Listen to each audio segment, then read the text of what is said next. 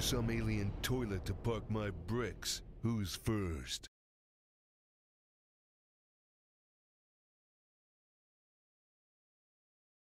Hello, Duke4.net fans. I'm standing here with Steve, Vice President of Marketing Department.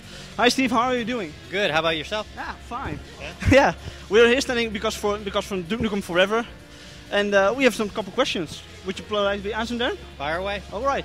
Uh, can you tell us what the engine is of Duke 4 of Duke? Uh, that's it's a uh, kind of you could almost call it a homebrew. Like you remember a long time ago, it was announced Quake engine, and now it's Unreal Engine. But um, I think you could say much like say the Half-Life guys, actually based on Quake.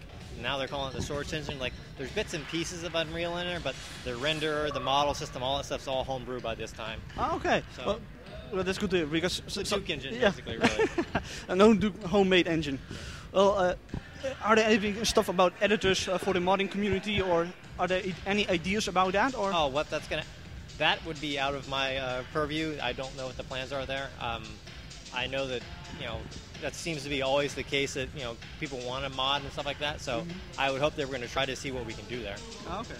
I really like the game. I also played it already for at, our- at your guys' stand, and uh, yeah, you had some trouble with the ESRB, PGI.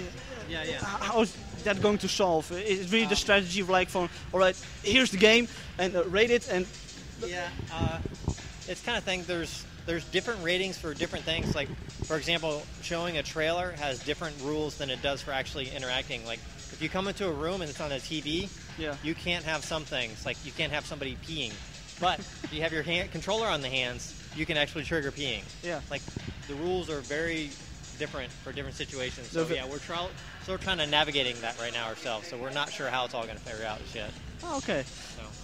Well, um, yeah, uh, it's, it's a little bit uh, a, a question that uh, everybody's asking on that forum. Mm-hmm. Is yeah, it's really a, a release date. It, Yeah. Well, as, as I asked already, as uh, Randy Pitchford, is that uh, February 1 is the, the uh, date actually that GameStop is taking overnight orders. Yeah. But well, what would like? Uh, I've, I've seen eight different dates by different retailers. That we have not a, the, the date has not been determined. No. So we haven't told retailers a date. So they just pick one. oh, okay. So it is 2011. Okay. Well, thank you for your time, Yes. and uh, I hope to see you soon again. Yes. Hope so too.